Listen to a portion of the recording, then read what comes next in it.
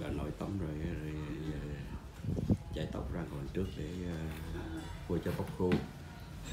Ngồi ngồi đây chút. Ngồi đây chút cái nó khô mà tóc ta sẽ làm gì vàng vàng chứ nó không có trắng tươi như như của dì tư với đầu ta bạc trắng tươi còn này tóc vàng vàng làm như nè nó đâu có rõ trắng tươi chứ tóc người ta bạc trắng tươi. Ông ấy à, ông à, ông gì trong truyền hình quên rồi.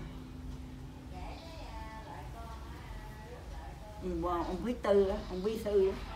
Tóc ông trắng giả. Dạ. tóc bà ngoại hồi đó cậu năm hình như cũng trắng vậy hả cậu năm thì trắng mà không biết của bà ngoại tôi không nhớ rõ lắm. Còn ông ngoại thì chữa trắng luôn bị gì ông ngoại mất còn sớm mà. Dạ mới có phải mấy tuổi dạ. Rồi là tám chục. Quay gửi về gửi về bệnh cho cúc. Với mấy đứa uh, kim rồi nó coi.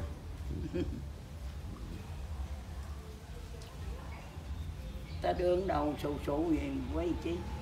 Thì nó là nó là quay lúc mà bà nội đương uh, gội đầu.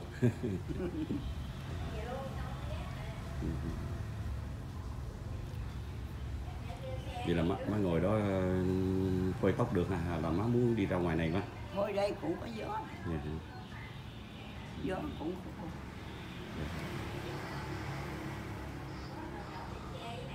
thường thường má ngồi vào khoảng bao lâu nó mới khô tóc luôn má?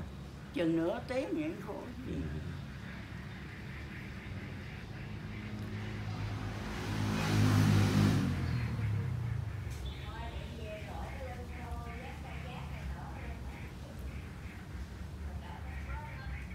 Tóc này cha làm gì nữa đó làm gì nhuộm Dạ.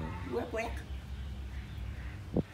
Ừ, con cháu thấy bệnh mấy bà già họ lớn tuổi lắm á Ừ. họ cắt tóc cục cục lại cục lại giống như là ừ, bà sắm năm một lần vậy đó. Đây dưới mở ba này cũng cắt cục. Dạ Ừ, má má má má nói xe hello với, hả? chuyện ở đây nói xe hello với kim với đình rồi đi. Một lần chị tư nút chị mới cắt dòm cũng qua số quắc à. Dạ. Rồi ít ngày cũng quen. Dạ. Còn mới cắt chị dòm chị giống được ông. Dạ. Bà tư rằng nghe nó cũng cả trăm tuổi vậy hả má? Hả? Bà tư rằng nghe nói cả trăm tuổi vậy đó hả? À, chị ờ, cũng chín mươi À, này chắc tết này 98 mà. dạ